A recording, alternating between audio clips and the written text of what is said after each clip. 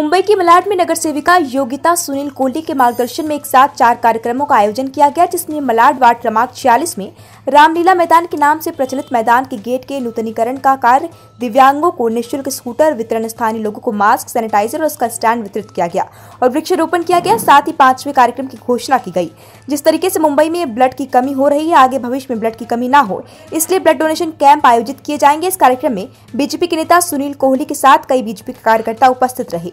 और इन सारे कार्यों को शुभारंभ स्थानीय सांसद गोपाल शेट्टी के हाथों किया गया। आइए देखते हैं, क्या कुछ कहा उन्होंने। मलाड भारतीय जनता पार्टी की ओर से सुनील कोहली जी और नगर सेविका योगिता कोहली जी के माध्यम से एक साथ में चार चार कार्यक्रमों का यहाँ पर आयोजन किया गया। ये जो रामलीला मैदान के नाम से प्रख्यात मैदान का जो गेट है, उसका नूतनीकरण का काम होगा। दो दिव्यांग लोगों को निःशुल्क स्कूटर वितरण, ये पहली बार मेरे हाथ से कम से कम हो रहा है। दो दिव्यांगों को स्कूटर निःशुल्क वितरित किया गया और जो सोसाइटी के लोगों को सैनिटाइज़र और उसका स्टैंड इसका वितरित हुआ और साथ साथ में वृक्ष लगाने का कार्यक्रम भी हुआ और पांचवा कार्यक्रम की घोषणा भी हुआ, जो ब्लड वापस शॉर्टेज हो मुंबई शहर में हो रहा है। तो आने वाले दिनों में ब्लड कैंप भी किस प्रकार से आयोजन हो, उसके बारे में भी चर्चा हुई। मैं मानता हूँ कि एक जगह पर कोरोना है, दूसरी जगह पर मुंबई में बारिश बहुत ज़्यादा पड़ रहा है।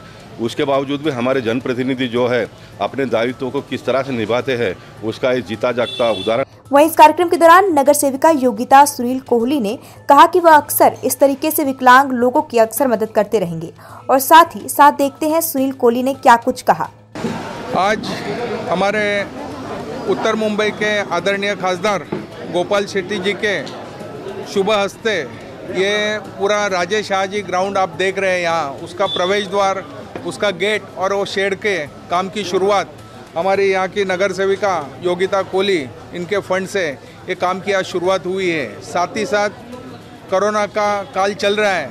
इसके लिए आसपास के जितनी भी सोसाइटी है, उनको सैनिटाइज़र मास्क और हर विंग में पैंडल जो सैनिटाइज़र पूछ करके अपने को देता है, वो वितरित करने का कार्यक्रम यहाँ किया गया साथ ही साथ यहाँ वृक्षारोपण का भी कार्यक्रम किया गया और सबसे बड़ी बात कि नगर सेविका योगिता कोहली के फंड से यहाँ जो विकलांग है उनको मुंबई से ग्लोबल इंडिया टीवी के लिए रोहित जायसवाल की रिपोर्ट।